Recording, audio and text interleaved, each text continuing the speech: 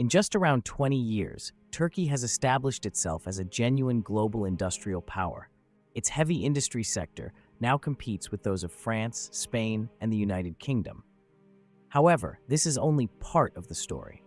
Turkey has also astonished the world by rising to become one of the global leaders in arms exports, directly challenging nations like Israel, the third largest exporter of versatile military drones. Currently, nearly 35 countries deploy Turkish drones, such as the famous Bayraktar TB2, which has demonstrated its effectiveness on modern battlefields, including in Ukraine. Remarkably, despite an ongoing war, Ukraine provides engines for some of these drones, illustrating the strategic and technological reach of this Turkish revolution. This monumental achievement in weapons manufacturing and other heavy industries can be traced back to the announcements made by Turkish President Recep Tayyip Erdogan when he became prime minister in 2003. It prompts the question, how did Turkey build the world's largest fleet of armed drones, and why are these drones so popular today? The Turkish army is the second largest military force in NATO after the US Armed Forces and ranks 13th globally. The primary reason Turkey ranks 13th and not higher, 6th or 7th, is the absence of nuclear weapons. Although Turkey does not possess nuclear weapons directly, its NATO membership and the presence of American nuclear bases on its territory provide indirect nuclear capability. Technically, any military force in the world engaged in a non-nuclear war with Europe would first have to confront the Turkish armed forces before facing the military power of the United States. This might seem surprising to many, given that Turkey is an Islamic country, with nearly 96% of its 90 million citizens identifying as Muslim. Turkey is deeply committed to manufacturing its own weapons and exports a wide range of modern military equipment and ammunition. This includes the Altay main battle tank, the Terex infantry transport vehicle, the amphibious combat vehicle Tulpar, and the Kaplan heavy infantry fighting vehicle. Additionally, Turkey has developed the Barbaros-class frigate, the Ta AgustaWestland T-129 ATAC all-weather attack helicopter, and the Aselsan family of missile systems. Other highlights include the T-155 self-propelled howitzer and the TAI Hurjet advanced supersonic trainer jet. These developments underline Turkey's ambition to build a self-reliant defense industry. Moreover, Turkey's drone fleet surpasses in size the combined drone forces of all European nations.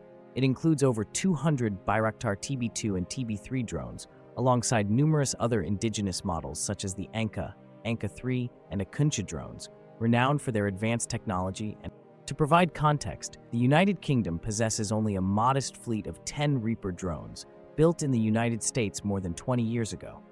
In contrast, Turkey's TB2 and TB3 drones cost between $5 million and $8 million each, but are equipped with extremely sophisticated technological systems. The success of Turkey's advanced drones can largely be attributed to a single visionary engineer, Selçuk Bayraktar. In 2005, Selçuk, then 26 years old, graduated with a degree in electrical engineering from Turkey's top university.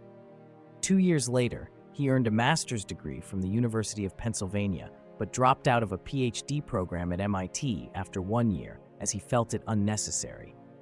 Bayraktar already had a vision for the groundbreaking technology that would revolutionize warfare.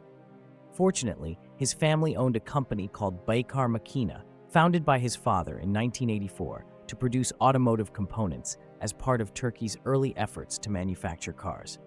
In the 2000s, the company shifted its focus to unmanned aerial vehicles, UAVs.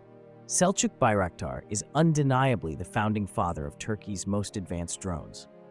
On the economic front, military drones continue to play a significant role in boosting the export revenues of Turkey's defense industry. According to 2024 statistics, Turkey achieved a new record with $7.2 billion in drone exports, an amount exceeding the annual defense budgets of several European nations. This success pushed the country's total arms exports past $12 billion this year. Turkey is now approaching the levels of China and the United States, solidifying its position as a global leader in drone exports. The Atlantic Council reports that Turkey has around 2,000 companies involved in weapons manufacturing.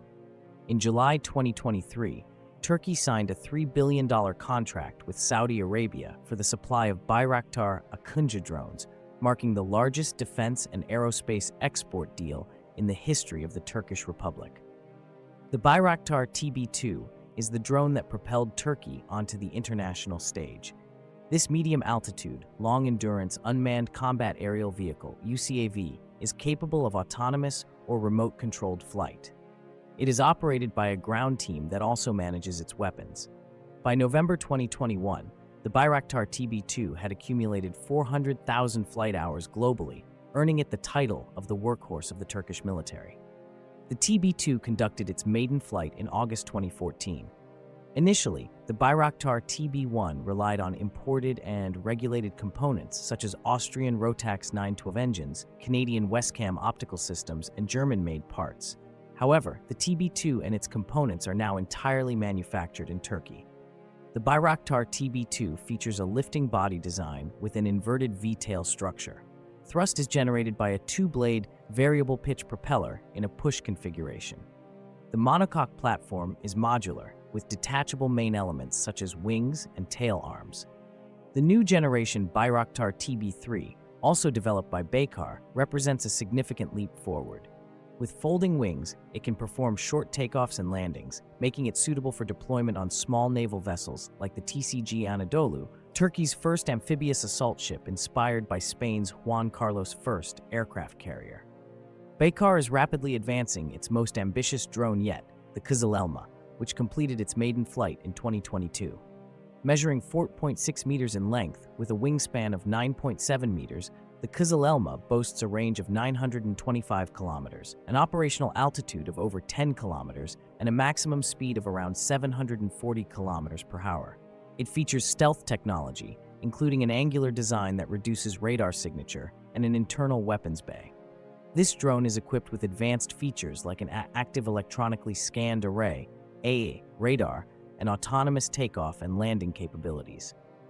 It is powered by the Ukrainian-built AI-322F subsonic engine, with production continuing despite the ongoing war.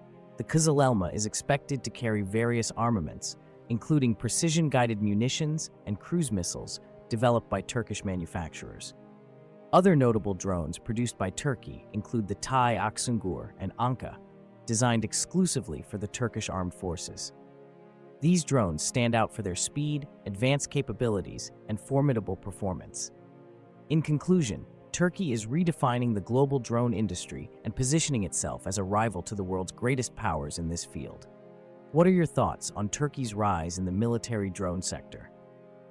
Share your opinions in the comments and like and subscribe to my channel.